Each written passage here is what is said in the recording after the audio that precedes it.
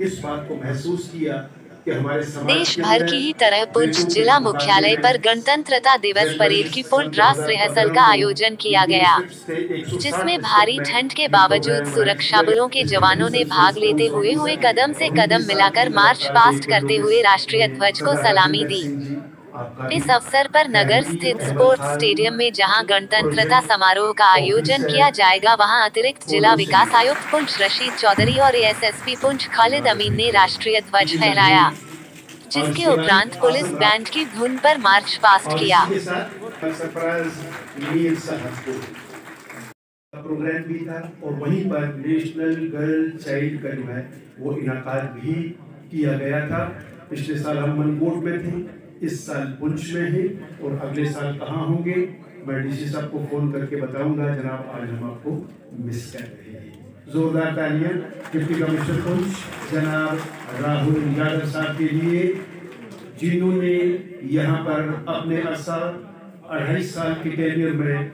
धर्म युद्ध लड़ा है, जिसे आप जहाद कहते हैं, कितने यहाँ पर तूफ़ान आए और कितने एडमिनिस्ट्रेशन ने झेले और कामयाबी और कामरानी के साथ ये विजयी हुए फतेहयाब हुए। इनको और एसएसपी साहब को हम इन तमाम कामयाबियों के लिए दिन की अभी गहराइयों से मुबारकबाद पेश करते हैं। मेरी गुजारिश रहेगी प्रोग्राम ऑफ़िस से वहाँ रोशन करने की रस्म अंजाम दें। जनाब सरफराज मीर साहब, इनके कोहिनूर जैसी बेटी आज के साथ मौजूद। मेरी तरफ़ देख रही है, बड़ी घूर घूर के और ये रोशन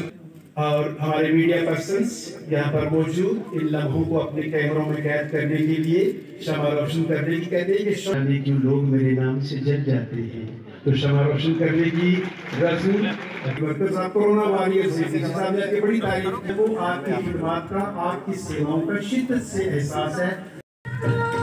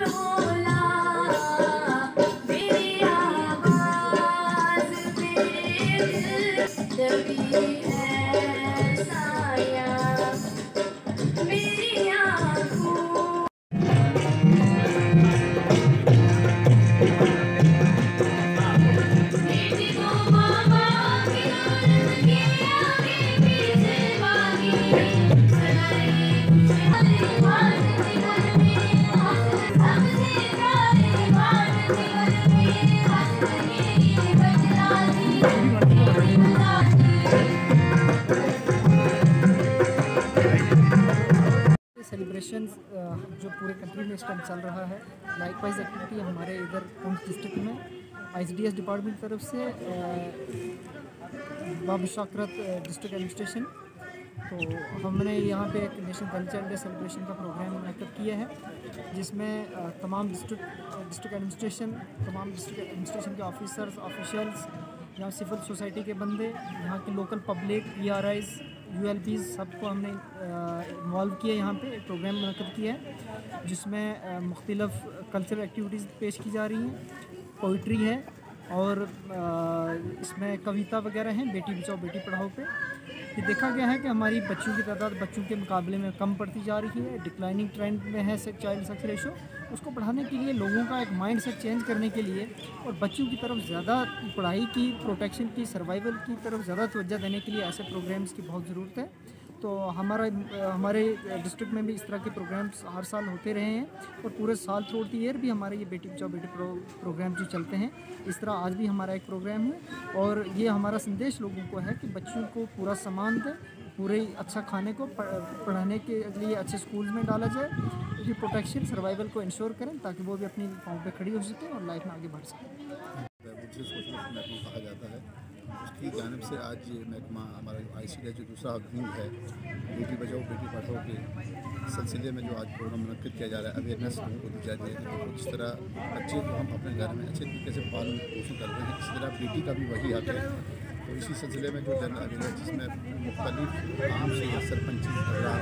पंचीस और जो हमारी फीमेल खासकर जो आंगनबाड़ी वर्कर्स हैं या हमारी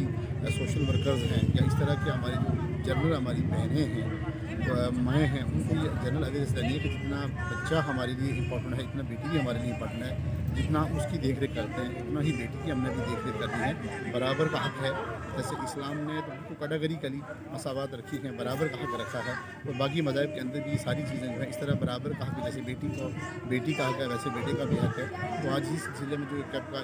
यहाँ पर प्रोग्राम जो डिग्री कॉलेज पुंछ में ऑडिटोरियम हॉल में जो रखा गया, उसका यही मकसद है कि लोगों तक ये अवेयरनेस दी जाए लोगों को कि जिस तरह आप बेटे की अच्छी तरीके से नज़र नमा परवरिश करते हो, पढ़ाते हो, अच्छे स्कूल में भेजते हो, और अच्छी जगह, अच्छे कॉलेज में भेजते हो अच्छी यूनिवर्सिटी में भेजते हो और अच्छे प्रोफेशनल कोर्सेज के लिए उसको बच्चे बच्चे को भेजते हो इस तरह बच्चे को भी बराबर का हक है बच्चे को भी इस तरह वो सारे का सारा, जिस तरह बच्चे को हक दिया जाता है, इस तरह बच्चे को भी पूरे का पूरा जो हक दिया जाए, ताकि बच्चे और बच्ची के दरमियान में कोई फ़र्क न रहे। आज के इस प्रोग्राम के माध्यम से मैं, आप मीडिया के वसात से यही लोगों से गुजारिश करूँगा कि बच्ची माँ बाप के लिए रौनक है बाईस रहमत है और बच्ची जो है वो घर की रौनक है और आज इस पैगाम को पूरी दुनिया में हमारे ऑनरेबल प्राइम मिनिस्टर साहब जो हैं, उनकी जो नज़र है सारी दुनिया के ऊपर, सारे मुल्कों के ऊपर ख़ासकर हमारे हिंदुस्तान के जो हमारे बाजी शहूर लोग जो हैं, उनको इस प्रोग्राम की मानत से माध्यम से मैं यही गुजारिश करूँगा कि वो जिस तरह बच्चे का ख्याल रखते हैं इस तरह बेटी का भी ख्याल रखें।